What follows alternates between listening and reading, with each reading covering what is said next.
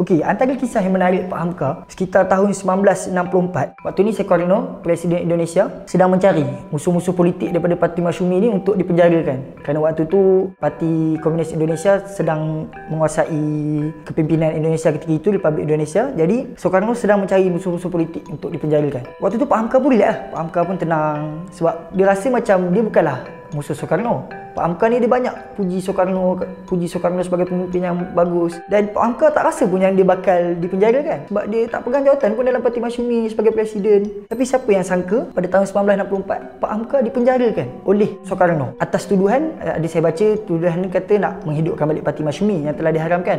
Ada yang kata Pak Hamka ada usaha nak gulingkan Presiden Soekarno. Dan ada juga saya baca orang kata atas tuduhan menerima wang daripada Perdana Menteri Malaysia Tunku Abdul Rahman. Sebab kalau kita tengok Pak Hamka ni seorang yang baik dengan tanah Melayu ni. Dan antara buku Pak Hamka Kenangan-Kenangan Kudi Malaya Pak Hamka dia sangat-sangat teruja dengan kemerdekaan tanah Melayu. Pak Hamka banyak anggap tanah Melayu ni sebagai adik Indonesia sebagai abang. Seorang tokoh yang pro ni lah pro kedua-dua negara sangat sayangkan negara-negara di Nusantara ni. Jadi atas tuduhan-tuduhan ini Pak Hamka dipenjarakan sebab waktu itu kalau kita tengok Soekarno ni agak keras lah dengan Malaysia ni. Tu yang ada ganyang Malaysia, perseteruan Soekarno dengan Tunku Abdul Rahman. Jadi dua tahun Pak Hamka dipenjarakan. Kemudian Pak Hamka dibebaskan. Dekat sini nak cerita betapa besarnya hati Pak Hamka ni. Waktu tahun 1970, Pak Hamka menerima sepucuk surat. Satu surat tiba di rumah Pak Hamka. Jika aku mati, persiapkan Hamka untuk mengimamkan solat jenazah aku. Tahu tak siapa yang mengirimkan surat ni kepada Buya Hamka?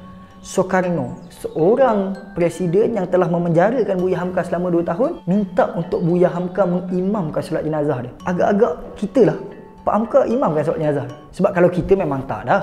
Orang yang dah penjarakan kita, kita nak suruh dia pula yang solat jenazah kita. Kita ni orang kata apa? Zaman sekolah dulu senior ambil Maggi tak bagi balik pun kita ungkit bertahun-tahun.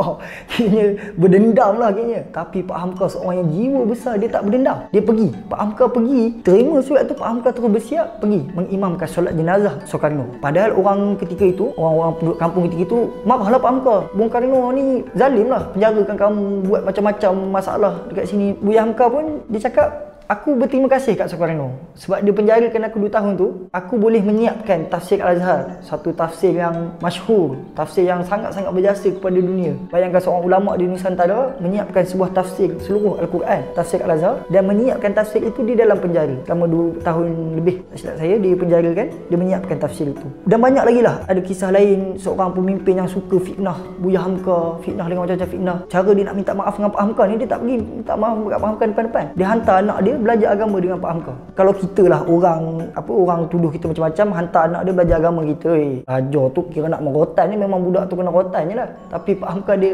jiwa dia besar. Dia dah maafkan dah. Dia ajar dua orang tu sampai faham lah agama. Sangat-sangat pemaaf, sangat-sangat berjiwa besar. Jadi itulah banyak lah kita, kita boleh contohi Pak Hamka daripada karya-karya penulisan seni dakwah. Dakwah ni seni. Ada orang dengan muzik, ada orang dengan syarahan, ada orang dengan bermacam-macam seni dakwah. Moga-moga kita dapat mencontohi Buya Hamka.